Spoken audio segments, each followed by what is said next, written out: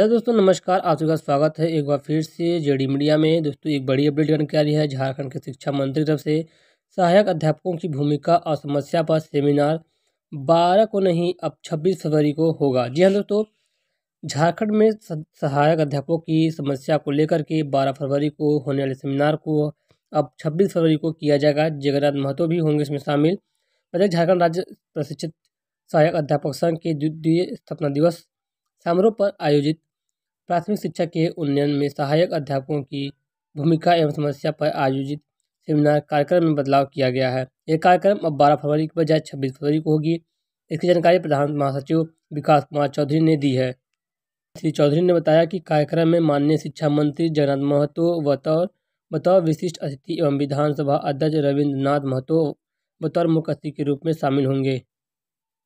दोस्तों, छोटी सी अपडेट आ रही थी शो के लिए उम्मीद है पसंद है। शेयर कीजिएगा, लाइक कीजिएगा, चैनल पहली बार है, चैनल सब्सक्राइब करके बेल आइकन को प्रेस कर लीजिएगा।